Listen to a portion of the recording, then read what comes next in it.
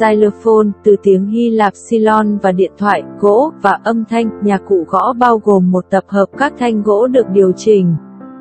Chia độ được hỗ trợ tại các điểm nút không chuyển động và được đánh bằng gậy hoặc vồ có đệm. Kèn xylophone có thể có nguồn gốc từ Đông Nam Á hoặc châu Đại Dương và ngày nay tồn tại ở dạng đơn giản như hai hoặc ba khúc gỗ đặt trên chân người chơi hoặc như những tấm gỗ đặt trên hai giá đỡ như khúc gỗ, hố đào trong lòng đất có thể hoạt động như một buồng cộng hưởng thông thường.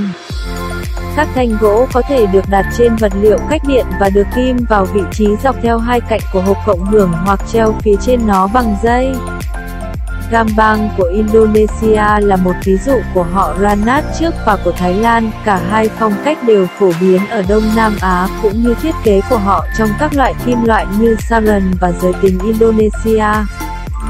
Xylophone xuất hiện vào thế kỷ 18 ở gần Trung Quốc nhưng chủ yếu chúng được sử dụng bởi các thuộc địa của Trung Quốc ở các nước Đông Nam Á, chẳng hạn như Việt Nam. Chiếc xylophone mốc cần đơn giản được tìm thấy trong bản nhạc ngoài sân khấu của nhà hát Kabuki Nhật Bản có thể đến từ thuộc địa của thương nhân Trung Quốc ở Đông Nam Á hoặc từ các buổi hòa nhạc tại quán trà của họ ở Nagasaki. Tuy nhiên, xylophone không đóng một vai trò quan trọng trong âm nhạc Đông Á, ngược lại, nhiều dạng xylophone được tìm thấy ở châu Phi. Nhiều chiếc xylophone ở châu Phi cho thấy những điểm tương đồng với những chiếc đàn ở Đông Nam Á trong việc điều chỉnh và xây dựng. Nhưng những câu hỏi về ảnh hưởng của thương mại và di cư vẫn còn gây tranh cãi. Amadinda được làm bằng các khúc gỗ, các bộ cộng hưởng bầu thường được cung cấp cho mỗi phím. Đôi khi có một tấm gương, màng dung, được đặt trong thành của bộ cộng hưởng, tạo ra một góc vang cho âm sắc. Nó được biết đến ở Mỹ Latin như một marimba, một trong những tên châu Phi của nó, và có lẽ đã được đưa đến đó bởi những người nô lệ châu Phi.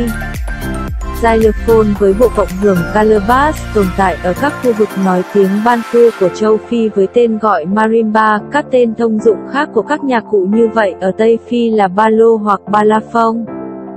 Xylophone không có bộ cộng hưởng cũng phổ biến như nhau, chúng bao gồm cái gọi là xylophone có phím tự do, trong đó các phím chỉ đơn giản được đặt trên hai khúc gỗ hoặc một cái hố. Ví dụ về các phiên bản phím cố định phức tạp hơn là những phiên bản phím và bộ cộng hưởng được cố định theo cấu trúc vòng cung mà người chơi giữ ở phía trước. Trong khi hầu hết các phím trên đàn xylophone trên toàn thế giới đều tăng cao độ từ trái sang phải. Có những mẫu đàn châu Phi trong đó các phím tăng cao độ ra ngoài từ tâm để phù hợp với chuyển động tự nhiên của cánh tay, tuy nhiên, các nhạc cụ khác có thể đặt các quãng tám cạnh nhau và các âm vực thấp nhất ở bên phải. Sự đa dạng và âm nhạc của đàn xylophone châu Phi rất ấn tượng. Xylophone lần đầu tiên được nhắc đến ở châu Âu vào năm 1511 được biết đến với cái tên Hosen Selector, bộ gõ bằng gỗ, hoặc Strophio cây đàn dơm, vì các thanh được đỡ trên dơm. Nó từ lâu đã là một nhạc cụ dân gian Trung Âu, trong đó các thanh kéo dài ra khỏi người chơi thay vì trong một đường thẳng ngang qua anh ta. Carillioner ở Flanders và Hà Lan thường sử dụng phiên bản bàn phím làm nhạc cụ luyện tập vào khoảng năm 1830. Nó trở nên vô cùng phổ biến thông qua các buổi hòa nhạc của nghệ sĩ lưu diễn người Ba Lan Mikhail Joseph Gazikov, người đã sử dụng loại nhạc cụ bốn đường phổ biến lúc bấy giờ có bốn hàng so le. Được điều chỉnh bằng màu sắc tức là ở thang âm 12, nó đã trở thành một nhạc cụ hòa nhạc độc tấu và sân vườn thời thượng ở dạng thế kỷ 21.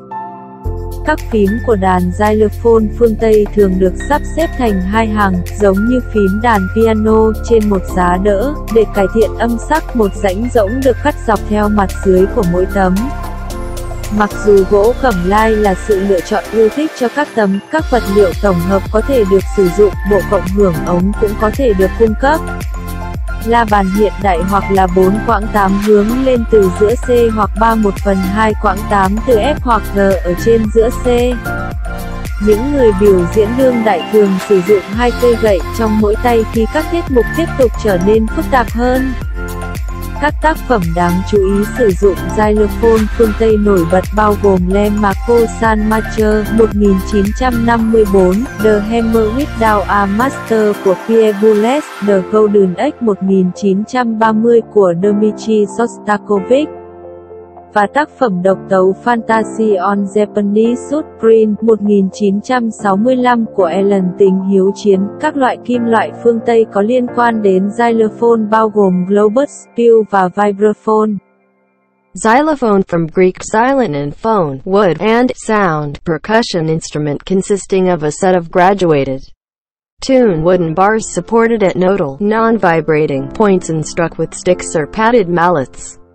The xylophone possibly originated in Southeast Asia or Oceania and today exists in forms as simple as two or three logs laid across a player's legs or as wooden slabs set across two supports such as logs. A pit dug in the earth may act as a resonating chamber.